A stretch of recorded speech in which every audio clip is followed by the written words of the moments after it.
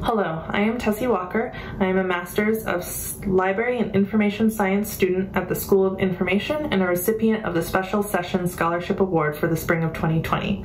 I want to express my gratitude towards Dr. Sandra Hirsch, Dr. Cheryl Stenstrom, and the entirety of the Student Awards and Scholarship Committee, in addition to the School of Information faculty, for this scholarship.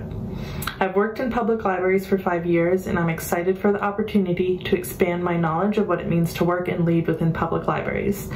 By pursuing the career pathway in public librarianship with a complement of leadership and management courses, I am planning on enriching my understanding of how best to serve my community.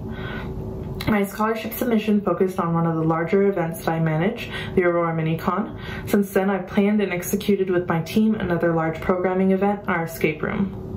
I'm also exploring other educational and community driven programming, including a financial literacy series that we'll be hosting in spring of 2020 that pulls in financial organizations from across the Aurora Denver area to promote financial health in our community.